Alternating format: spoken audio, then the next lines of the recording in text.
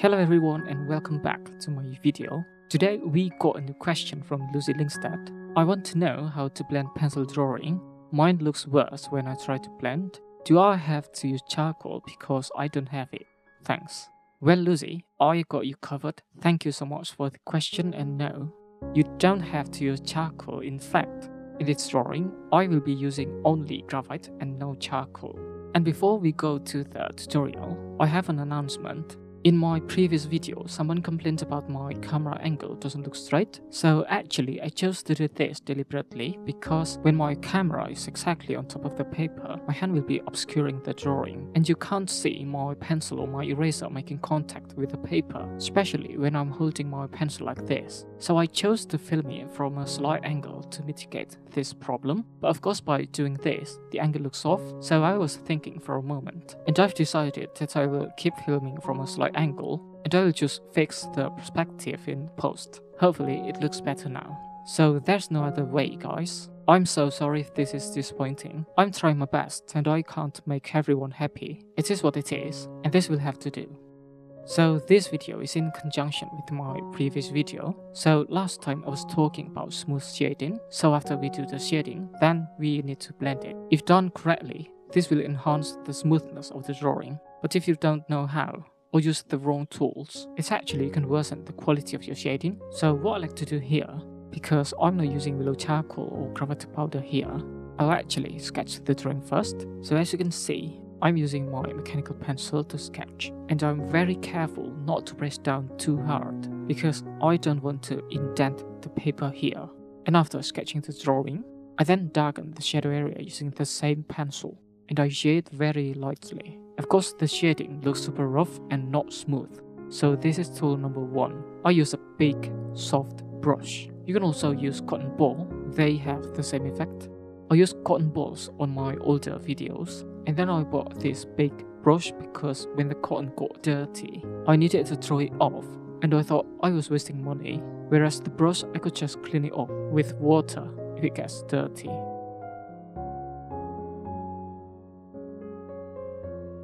So this is after the blending. This is before, after, before, after. As you can see that the shading indeed looks nicer and softer.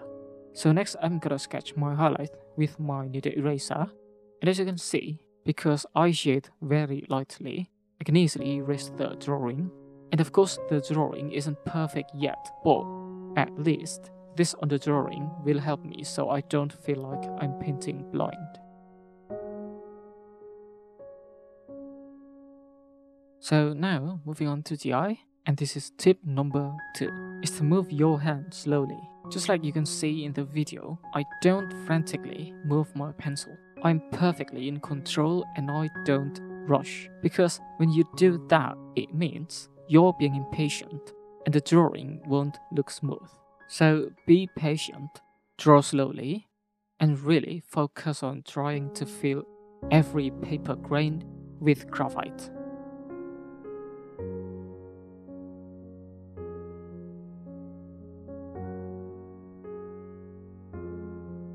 This is tip number 3. I'm gonna switch to time-lapse now because I want to show you the order I'm shading. So I begin sketching the eye using my mechanical pencil because I don't want it to be too dark right now. So if I end up making a major mistake or something, I could easily erase it.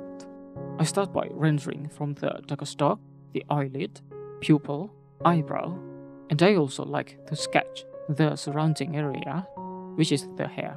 After I'm quite happy with the result, I darken the whole thing with my 8B. And to create a smooth shading, you need to maintain the pencil sharpness. The sharper it is, the easier it is to create a smooth shading.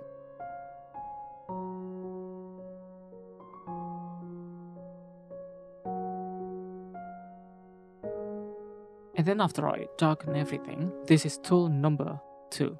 I use a small brush just like the pencil, I move my hand very slowly. And I also don't push hard.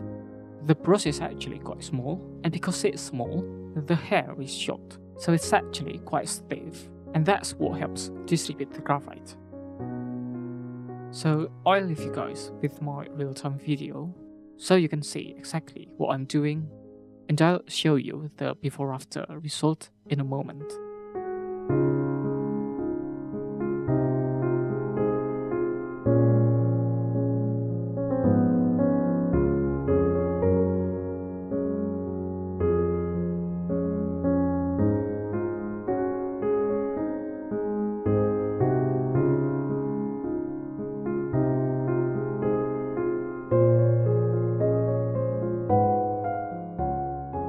Okay, so this is after the blending.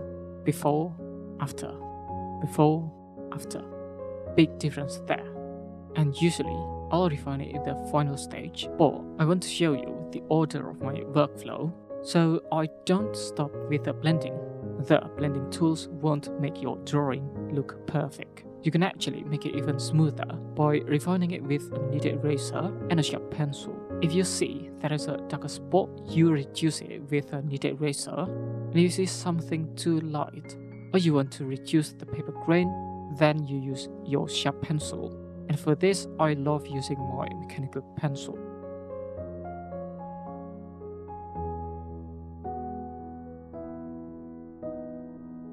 Okay, so before I move on to the other eye, here is the after refining, before, after, before, after. You can see that I've made some minor adjustments. I added shadow below the eyebrow to make it rounder, added shadow below the eyelid, and made the catchlight crisper. They might look insignificant because it's just a small area, but when you finish refining the whole face, they're no longer small and will make your drawing looks more refined.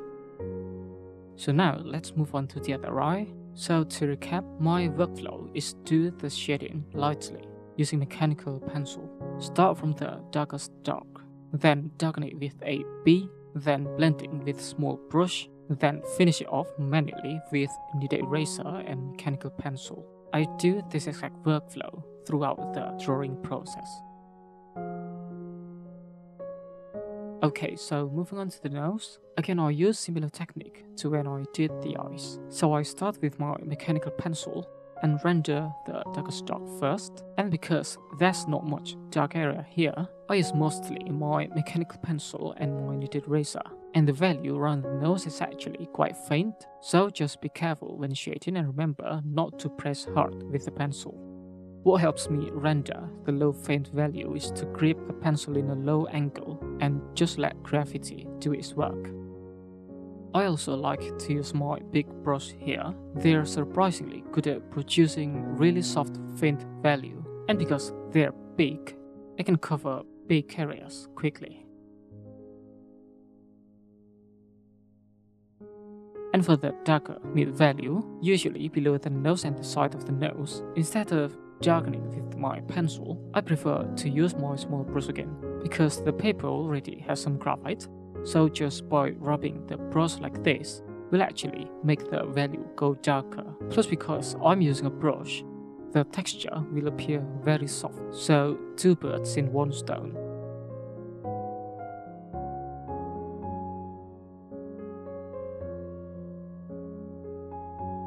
And again, I don't stop with my blending.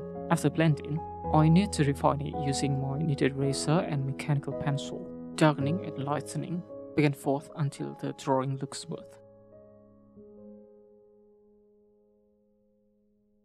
The mouth has the same workflow, although here I don't really follow it strictly. The workflow is just merely a guide or a checklist. So I always start from the dark, that's for sure, and then if you feel like you need to do some blending, then you can do that as well. But if you want to blend at the very end, then it's fine too. The most important thing here is that you always want to finish off the drawing by smoothing it out manually, because the blending tool will only get you so far. And if you pay more attention, I like to render the surrounding area as well. So in this case, I like to render the hair, and that's even before I complete the mouth. This is because, one, I like to draw and try to finish one area at a time, so the surrounding area will act as boundaries. So I know I need to render only from this area to this area. And two, It access value comparison, so the hair area near the jaw is actually quite dark, so by rendering the darkest dark of an area, I can do comparison in my head. So for example, okay, so the darkest dark, which is the hair, is this dark. Then the lightest area is near the center of the jaw. So the mid value, I need to darken it this dark. So this way, my rendering is more effective as I need less time to go back to my previous area just because it is too light or too dark as I misjudge the value.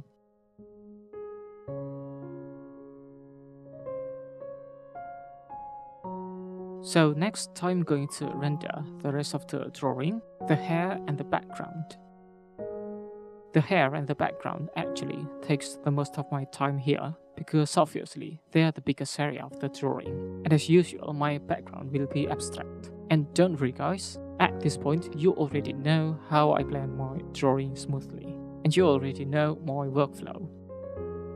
So the hair and the background gets the exact same treatment. I think for my next tutorial, I'll be talking about hair, but I'm still not sure. Probably need to do some YouTube research first. Ha ha ha ha.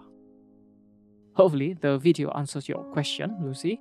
And guys, don't forget to subscribe to my channel because that will encourage me to do more tutorial videos like this. So support my channel and if you have any question like Lucy did, just ask in the comment section down below. And enough ranting, and I'll let you guys watch my video and listen to my music.